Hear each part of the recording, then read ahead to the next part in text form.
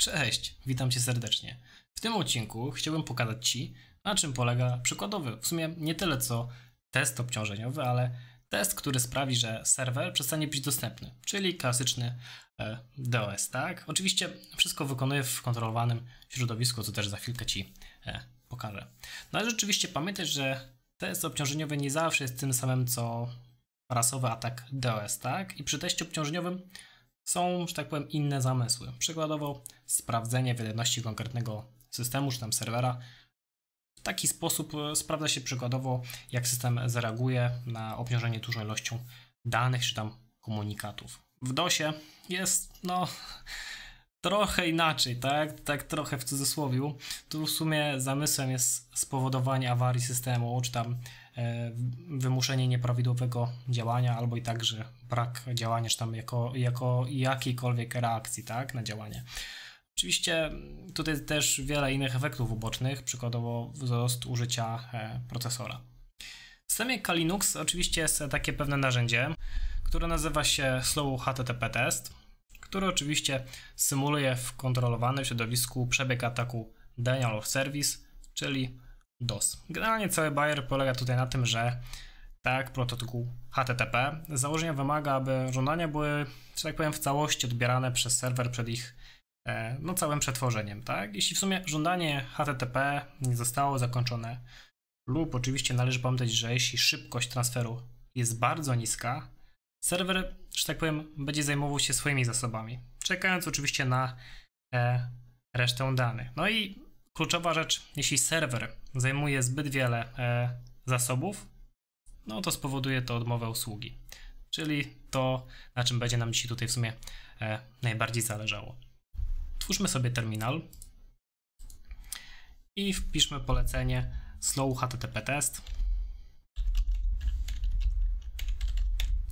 minus h i oczywiście z tego narzędzia będziemy sobie tutaj korzystać. Oczywiście jeszcze w ramach e, tego wykładu przygotowałem sobie drugą maszynkę Metasploitable 2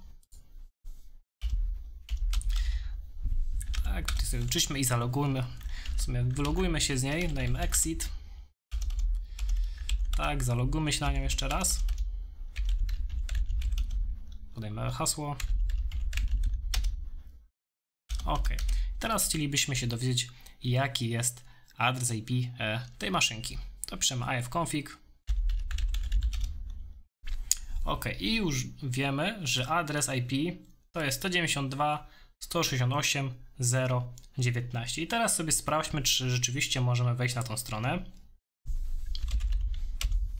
OK, jak widzimy, bez najmniejszego problemu możemy tutaj przeglądać zasoby tego, no poniekąd serwera. Wróćmy sobie do Kaliego. I teraz będziemy chcieli wykonać tak, e, tutaj przykładowy taki, e, taki test obciążeniowy. Ja oczywiście całe polecenie mam e, skopiowane. To też teraz tutaj wkleję. I już przechodzimy sobie do tłumaczenia poszczególnych tutaj odnośników. A więc tak, mamy tutaj wywołanie tego narzędzia slow HTTP test, tak? Parametr minus c odwołuje się do liczby połączeń. Co mamy tutaj? Parametr e, duże minus h to oczywiście są wolne nagłówki, że tak to w cudzysłowie ujmę. Parametr minus e, małe g to jest tutaj do generowania statystyk, które zapiszą nam się w tym pliku, co oczywiście możemy się domyśleć, że parametr minus o to jest zapisanie danych do pliku. Następnie mamy parametr minus i z dziesiątką, co oznacza odstęp w czasie, tak, odstęp w sekundach, czyli mamy e, co wysłanie mamy odstęp o 10 sekund, parametr minus r i 200 to mamy szybkość połączenia na sekundę, parametr t tutaj odwołuje się do tego od żądania get, oczywiście minus u jest to e, wiadomo adres, tak, tu mamy adres do tej maszynki, oczywiście E, mamy parametr minus x i 24 to jest oczywiście liczba bajtów, no i p, tak, to jest oczywiście limit oczekiwania e, na połączenie. No dobra, e, to co, dajmy Enter i widzimy, że w tej chwili strona jest jeszcze dostępna, mamy service available i mamy jest, w tej chwili już nam pokazuje informację no. Także wróćmy, to oczywiście zamknijmy i spróbujmy na nowo wejść i widzimy w tej chwili już jest problem, nie możemy wejść, cały czas nam strona się mieli. Także w tej chwili testujemy e, obciążenie i jak już widzimy, już w tej chwili nie możemy wejść na, na dany serwer, czyli na tą naszą tutaj daną stronkę. Poczekajmy jeszcze sobie chwilkę. Bo prawdopodobnie jeszcze może nam tutaj wyskoczyć informacja, że nie można się połączyć. Albo po prostu narzędzie przestanie nam pracować. No to też taka sytuacja może mieć miejsce. W międzyczasie tutaj sobie e, fajnie czekam, aż jakiś efekt się nam pokaże. Oczywiście takie mm, działanie takiego testu też jest czasem troszkę czasochłonne. To ja serdecznie Was zapraszam do polajkowania e, tego odcinka, napisania jakiegoś komentarza, przykładowo chcę więcej, tak, żebyście mnie zmotywowali. O, przy okazji widzimy, że witryna jest e, nieosiągalna, tak, żebyście mnie zmotywowali do nagrywania następnych filmów. I pamiętajcie, żeby wcisnąć guzik do subskrypcji. Jeżeli macie jakieś pytanka, chcielibyście się czegoś dowiedzieć, więcej nauczyć, to napiszcie do mnie e, na Discordzie albo dołączcie grupę na Discordzie. E, link do Discorda jest oczywiście na moim głównym profilu w prawym górnym rogu.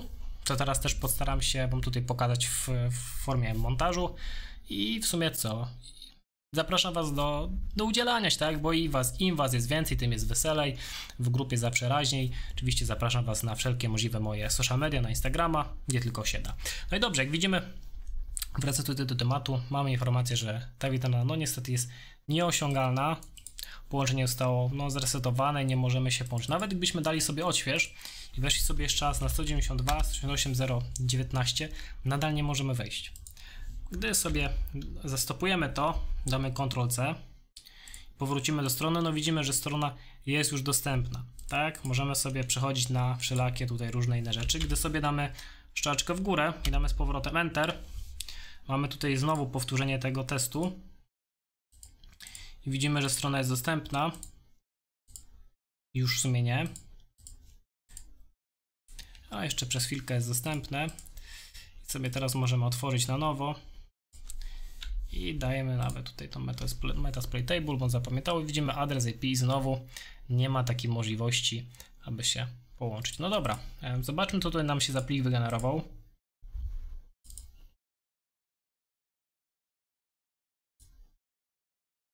No, coś jakiś problem jest, żeby wejść.